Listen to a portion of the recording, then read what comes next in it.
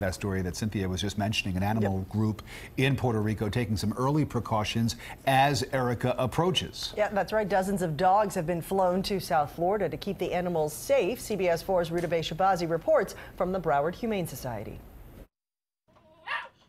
These dogs have been on a very long journey, arriving at the Humane Society of Broward County this morning from Puerto Rico. With the threat of uh, Tropical Storm Erika bearing down in their backyard, they're very concerned about the animals that they have there.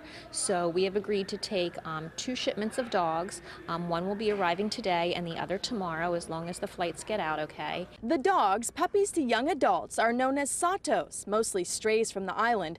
About 20 of them arrived on today's flight. 20 more are expected tomorrow, weather permitting. We've had people adopt them in the past, and when those dogs have passed away, they want another Sato. There's something a little extra special about them.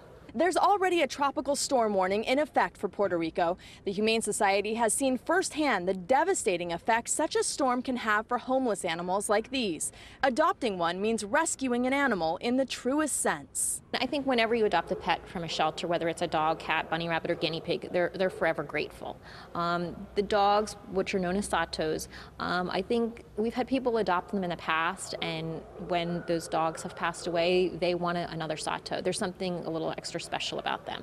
And right now, the dogs are going to be spayed or neutered. They're going to be vaccinated and microchipped, checked out, bathed. They've had a very long journey today. So once all of that is complete, they should be ready for adoption within the next few days. And they are very sweet to take home for a forever home. Reporting from the Humane Society of Broward County, Rudabeh Shahbazi, CBS 4 News.